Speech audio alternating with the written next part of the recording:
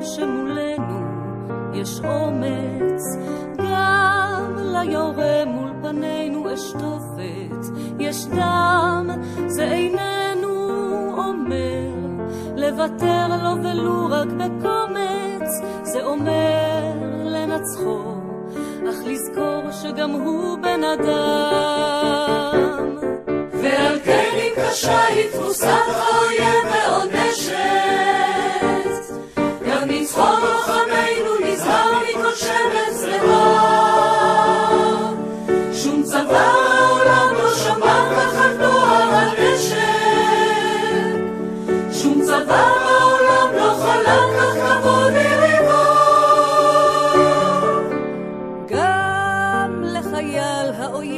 שמולנו יש בית, גם לתוקפינו ישנם לבבות, מחזות זה איננו אומר, כלל שלא להכות בם אפיים, זה אומר להלום בם, הזאת אבל לא לבזות.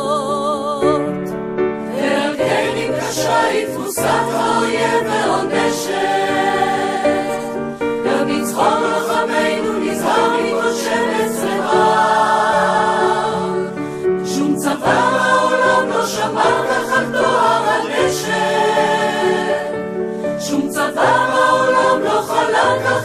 יריביו.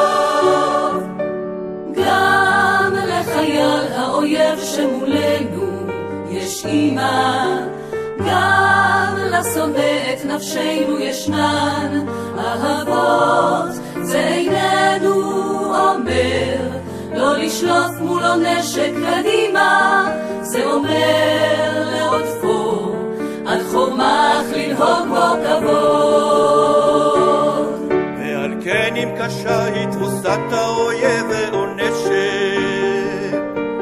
גם ניצחון לוחמינו נזהר מכל שמץ רבב. שום צבא בעולם לא שמר ככה לטוהר הנשק.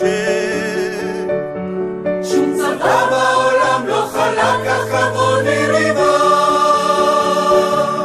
ועל כן אם קשה היא תבוסת האויב ועונשת, נזהר מכל שמץ רבב. שום צבא